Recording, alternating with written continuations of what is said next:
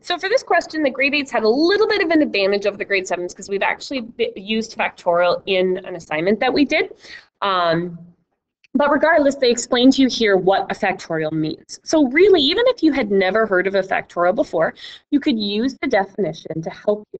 So 2100, 2018, sorry, factorial really just means 2018 times 2017 times 2016 times 2015, blah, blah, blah, all the way down.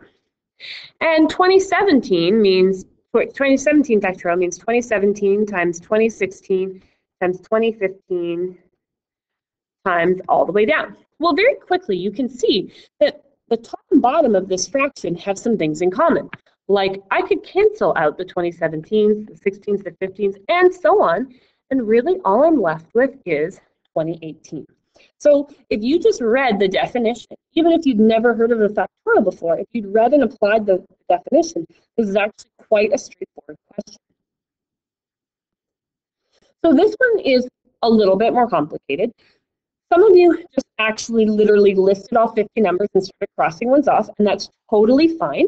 Um, one strategy, though, remember, a problem-solving strategy is to solve a simpler problem. So let's look at this as if it just said from 1 to 20 as an example. That just saves me time, really. It doesn't mean you have to. That's just one strategy. So that, but what it allows you to do is look for patterns. Because remember, math is all about patterns. So as soon as I cross out multiples of 2, we know right away that all the even numbers are gone. And then multiples of 3, so anything that I haven't already crossed out that's a multiple of 3 is gone. Multiples of 5, some of them I've already crossed out. 7s, 11s, 13s. And what I'm left with is to see that the only ones that are not crossed off are 1, and then any prime number bigger than 13. So notice that one, that one. So 13 gets crossed off because it said multiples of 13. But then anything beyond that, any prime number beyond 13, which begins at 17, will not get crossed off. So right away, now I've realized when I look at this question, it's really just asking me, what are the prime numbers higher than 13 plus including 1? And so really you just have to realize you've got 17, 19, 23, 29, 31, 37, uh, 43, sorry, 41, 43, 47, and then 1, which wasn't crossed out, and altogether that leaves you with 10 numbers. Again, you could have listed all 50. This is just a little bit faster in terms of um, finding a pattern and then quickly realizing how you can apply that pattern and extend it to a bigger question. So, so for this one, um, one thing that you notice is that um, to get from here to here, you're increasing by two, you're increasing by three, then you're increasing by four, and so on. So really, you could say my next one, I'm going to be increasing by five. Oops. So you'll have 16, 17, 18, 19, 20, and 21. And then the next one, you're going to be so in the next row, you're going to be increasing by um, 6. So then this one will be 22. And I could keep going, but I'm not going to because what I'm going to notice is, so that was up by 1, then 2, then 3, then 4, then 5, then 6. So now I'm going to go up by 7. And then I'm going to go up by 8. And then I'm going to go up by 9. Um, uh, yeah, 46, sorry, brain freeze. Then I'm going to go up by 10. And I'm going to keep that going. I've run out of room there, so I'm just going to extend that. Um, I'm just going to keep going with the pattern. And if I keep going, so by one, two, three, four, etc., etc. Um, sorry, this is 106. It looks like I wrote 100, but I didn't. I wrote 106. So right away, I'm going to see that 100 is in that row there. Sorry, that 100 not in that row because that'll be 100 will be in that row there. And what I could see about that row, so again, remember how here I went up by 5, then I'm going to go up by 6, then up by 7, up by 8, up by 9, up by 10, 11, 12, 13. To get to here, I need to go up by 14. So if 100 is somewhere in this row, and it doesn't really matter where, to get to directly below it, I'm going to add 14 to it.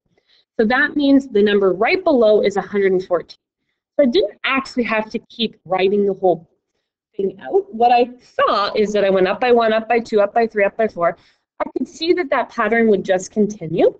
So I found what the number on the right-hand side was. I identified where will my 100 occur, and then what do I need to add to get to the row below it. Okay, so this one was quite complicated. Um, they were giving you two right angles to kind of help you a little bit with numbers because you're not allowed a calculator. Um, and I hope that you saw it kind of as a hint to create right angle triangles. And you can create one there and you can create one there. And what that actually does is it creates a right angle triangle A, E, B. It creates a right angle triangle here that's D, E, and C. It actually creates another one right here where there's a triangle within a triangle that's E, sorry, B, E, C. So that one has, this triangle is within that shape. So what you could do is, because it talked about finding the perimeter of A, B, um, C, D, E. So you need to find um, this side here, this side here, you need to find this side here, you need to find this side, and you need to find this side.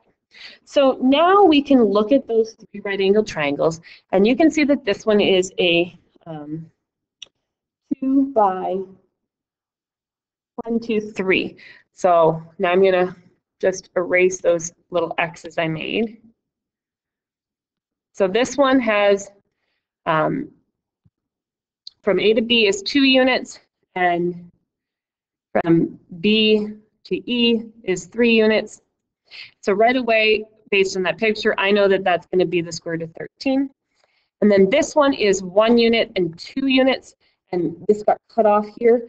But if you turn that, you're going to see that this is the root of 5. And then this one, one, two, three, is three units and two units, and that's going to be the root of 13. So if we go back and take those sides, which I've now, of course, forgotten. So let me just maybe highlight. That side we needed, that side we needed. We needed that side for the shape, we needed that side for the shape, and we needed that side. If we add all those things together, we have root 13 plus 2 plus root 5 plus 1 plus root 13. Now, we haven't done a lot with radicals, but if I have one root 13 and I'm adding another root 13, just like algebra, I have two root 13s, and then I have 2 plus 1 is 3. So it's kind of like algebra a little bit. And so this is what I end up with here. And if I want to, I could write 1 root 5, because in here they had an x, a y, and a z. So right away I can see here is my z, I've written them a little bit out of order. This one's my X and this one's my Y. So then it asked you to find what's X plus Y plus Z. So really that's what's 1 plus 2 plus 3. And you get 6. So it's based on Pythagorean theorem. It's based on finding right angled triangles. I suspect most of you saw this one and most of you saw this one, but you didn't maybe see that one. Um, so that's how you could approach that question there. So for this one here, um, I think what most of you probably did, I'm not sure, but you had to sort of look at it. Um, if that's that, we know we need to get something with a 60. And same thing here, we know we need to get something with a 60. And what you have to think about is, um, you have to think about is how we came up with 41. And you have to realize that anything with a 5 is going to give you a multiple of 5.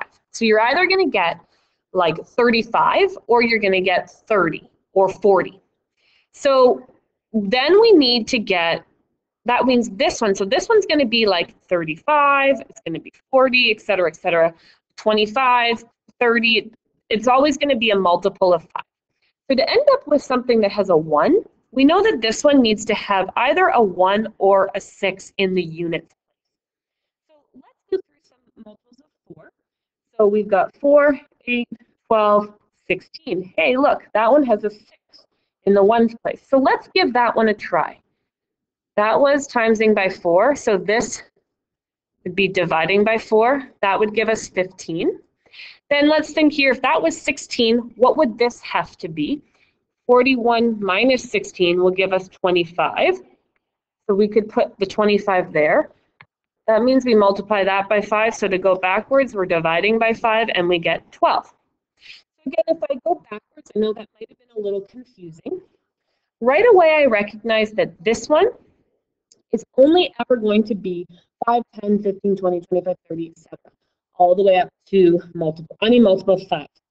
To get 41 as an answer, that means this one, the 4 over a, has to either have a 1 or a 6 because 1 plus a 0 will give me a 1, or 6 plus a 5 will give me a 1. So right away I could create this one and get a is 15 and get b is 12. And then all you had to do was find the sum of 15 plus 12 and get 27. And that was the answer. So it looked really complicated. Um, not really too bad. I actually think it wasn't the most complicated of all of them on it. It's again just approaching it from the right strategy. If you have any questions about this, just let me know. Remember, again, it's not about what you get right or wrong. It's about learning some strategies so that the next time you see questions like this, you can approach it in either a more efficient way or a better way, or at least you might even know a way to approach it. Whereas maybe when you read it, you didn't know how to do it.